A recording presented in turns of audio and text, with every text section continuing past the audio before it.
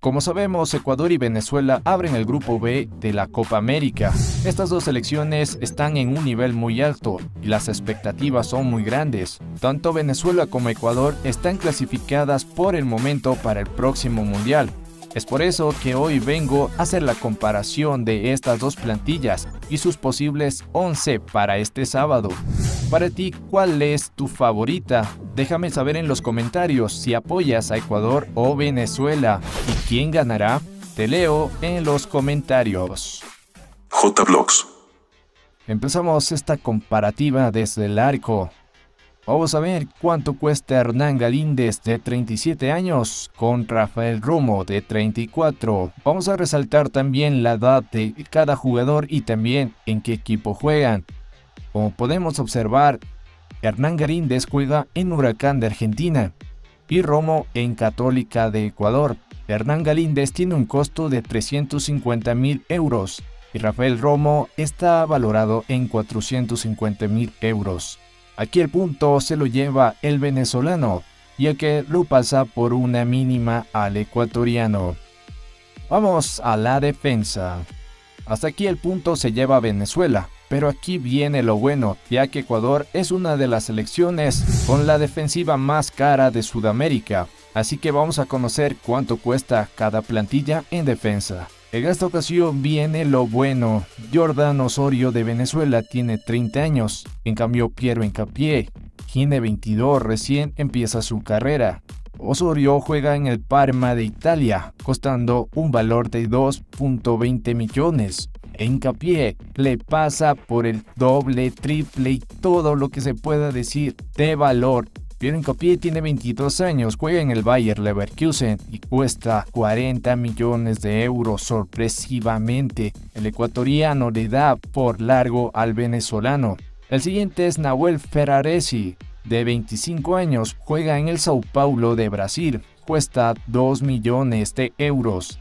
En cambio, William Pacho, de 22 años, apenas está empezando en esto. William Pacho del equipo Frankfurt cuesta 35 millones de euros. También aquí una suma importante. El ecuatoriano le da de largo al venezolano. Estamos hasta aquí goleando. Sí, como lo ven, goleando Ecuador a Venezuela en defensa.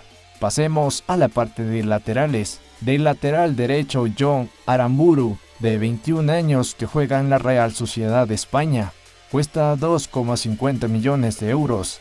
En cambio, Angelo Preciado, de 26 años, ojo, que Angelo ya está un poquito avanzado de edad, del Esparta Praga cuesta 5 millones. Nuevamente tiene otro punto Ecuador aquí en la defensa, dando de largo en valores a los venezolanos. Continuando con el lateral izquierdo que es Alexander González de 31 años, que juega en Emelec de Ecuador, cuesta 700 mil euros. En cambio, Lion Loor de Universidad Católica de 23 años cuesta 1.20 millones de euros. La verdad que aquí Ecuador dio una tremenda paliza a Venezuela. Por favor que así sea el triunfo de Ecuador por goleada este sábado. Pasemos ahora a ver cuánto cuesta el medio campo de la selección ecuatoriana y de Venezuela. Aquí viene golpe a golpe. Está muy parejo. Vamos ahora con la mitad del campo. En esta ocasión empezamos con Ecuador.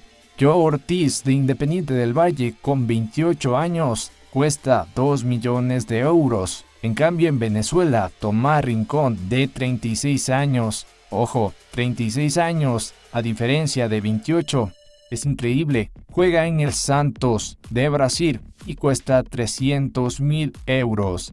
Un punto más para Ecuador aquí, se lo lleva Joao Ortiz.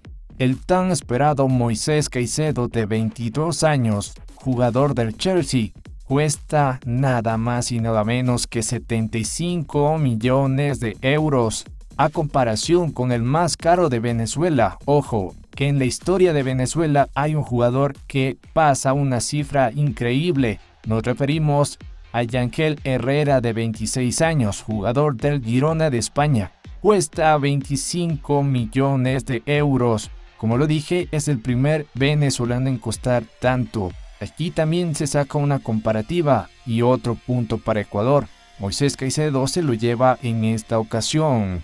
Vamos por la parte de volantes. Empezamos con John Yebua. John Yebua, de 23 años, jugador de Crow de Primera División de Polonia, cuesta 1.50 millones. Y el jugador venezolano Darwin Machis, de 31 años, jugador del Cádiz de España, cuesta 2 millones de euros. En esta ocasión tenemos un punto para Venezuela. Se lo lleva Darwin Machis. Es el turno de Jeremy Sarmiento. Vamos a ver este jugador que es un talento increíble de Ecuador. De 22 años, jugador actual del Brighton de Inglaterra. Cuesta 4.50 millones, pero aquí tiene un duro rival, que es Jefferson Soteldo. Este jugador de 31 años juega en el gremio de Brasil y cuesta 5 millones de euros. Otro punto para Venezuela, aquí se vino lo más duro. Tiene que competir Ecuador de igual a igual aquí con Venezuela en el medio campo. Es increíble, pero sí, tiene razón, Jefferson Soteldo es un jugador también explosivo, por eso cuesta lo que cuesta.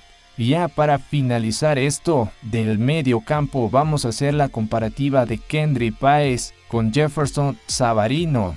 Kendry Páez de 17 años versus Jefferson Savarino de 27. Kendry Páez de Independiente del Valle cuesta 12 millones de euros. Actualmente en Independiente, pero próximamente en Chelsea de Inglaterra. Este jugador que tiene mucho talento.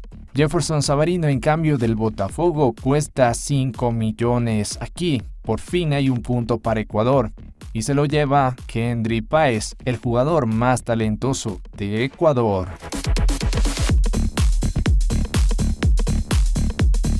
Prácticamente aquí Moisés Caicedo ganaría por goleada, ¿no? Pero eso no cuenta, ya que estamos haciendo jugador por jugador.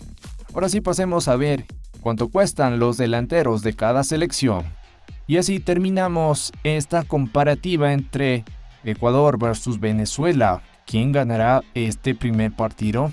Vamos a ver la diferencia entre Salomón Rondón y Ener Valencia. Salomón Rondón, de 34 años, juega en el Pachuca de México, cuesta un millón de euros. En cambio, Ener Valencia, de 34 años, la edad son similares, del Inter de Brasil, cuesta 2.5 millones. Un nuevo punto para Ecuador, Prácticamente aquí está la suma de todos los puntos durante este duelo a duelo entre Venezuela y Ecuador, Ecuador versus Venezuela y sale vencedor Ecuador. Tiene una plantilla pero muy muy muy espectacular con valores increíbles como el caso de Moisés y también de Pierre Encapié que solo estos jugadores prácticamente hacen toda la plantilla de Ecuador costando demasiado. Pero aún así, vamos a ver qué pasa en cancha este sábado. ¿Será que la selección más cara contra la selección menos cara ganará este sábado? Todo esto lo veremos en cancha, así que no se olviden apoyar este video, suscribirse, activar la campanita, comentar también, estaré leyendo todas sus opiniones, así que vayan rápidamente a escribir. Espero que les haya gustado esta comparativa entre Venezuela y Ecuador y sin más nos veremos en un próximo video. Ya te suscribiste a JBlogs. Si no lo has hecho te invito a que lo hagas, actives la campanita y le des un super like a este video también no te olvides en comentar todas tus opiniones, les estaré leyendo, así que es el momento de escribir. Recuerda, es gratis.